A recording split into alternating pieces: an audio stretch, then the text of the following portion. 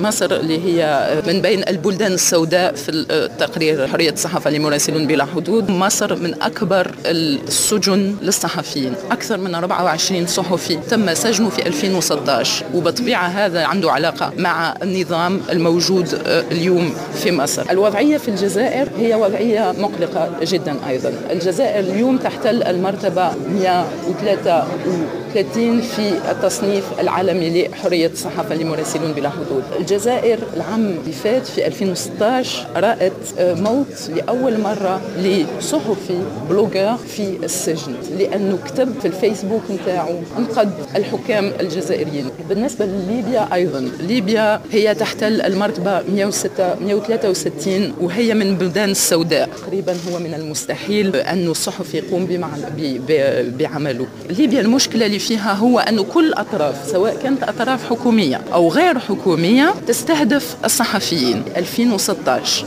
ثلاث صحفيين. ماتوا في 2016